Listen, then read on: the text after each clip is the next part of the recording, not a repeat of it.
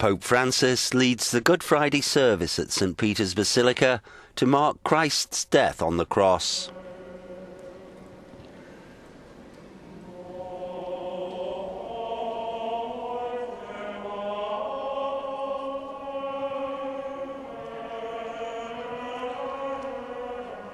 Arriva il momento in, quando ci si accorge che tutti questi adettati Papal preacher Father Raniero Cantalamessa called on the Pope to lead the Church back to simplicity. semplicità e linearità delle sue origini. Fu la missione che ricevette un giorno un uomo che pregava davanti al crocifisso di San Damiano.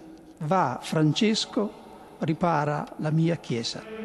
As night fell, he attended the Stations of the Cross procession around the 2,000 year old Colosseum. This year, members of the Lebanese faithful attended the ritual.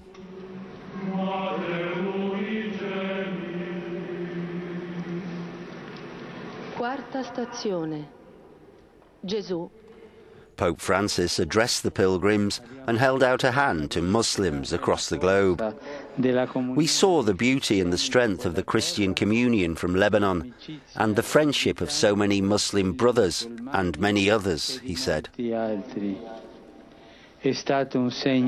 Medio Oriente per il mondo intero.